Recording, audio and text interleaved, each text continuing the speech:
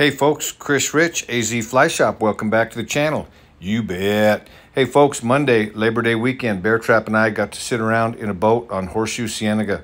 I'm going to give you a little fishing report.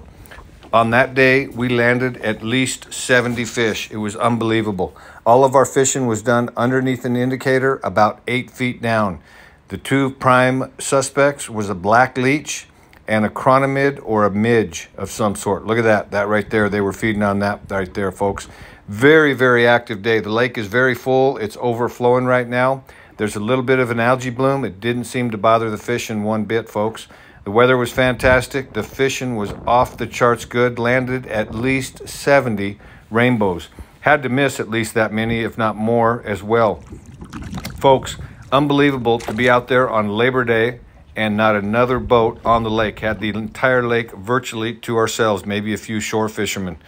We, so here we are, very first of September. Bear Trap brings in a nice brown trout, over 20 inches. Look at that healthy brown trout, colored up. Beautiful, beautiful job. That fish ate a chronomid, folks. Ate one of Bear Trap size 16 chronomids with a cream puff head on it. Look at that beautiful, beautiful fish. Folks, I highly recommend you get out to Horseshoe. I'll see you at the shop.